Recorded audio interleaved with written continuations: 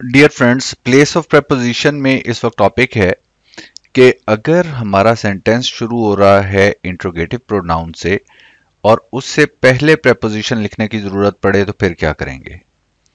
Just have a look at a couple of sentences what is he looking at in fact ये sentence इस तरह से था कि at what he is looking और इसमें देखिए ये वॉट जो है ये इंट्रोगेटिव प्रोनाउन है।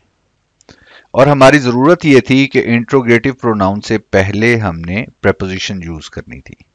इन सच केसेस कि जब आपका सेंटेंस स्टार्ट हो रहा है, इंट्रोगेटिव प्रोनाउन से, और उससे पहले प्रपोजिशन की ज़रूरत है तो इंट्रोगेटिव प्रोनाउन से पहले कभी भी प्रपोजिशन ना यूज़ करें। बल्कि उस प्रपोजिशन को उठा के सेंटेंस के आखिर में ले जाएँ। जैसे हमने यहाँ पर किया है।